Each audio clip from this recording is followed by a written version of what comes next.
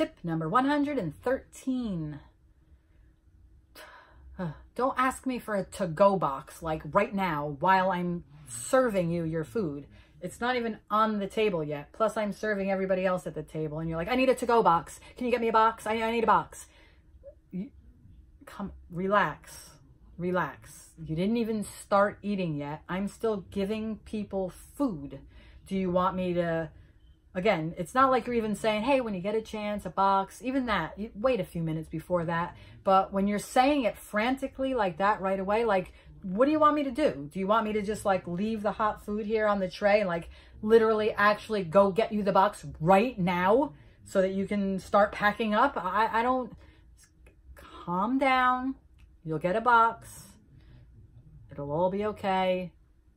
I'll get you the box. Just let's relax and enjoy our first bite of our food before we worry about packing it up and taking it home.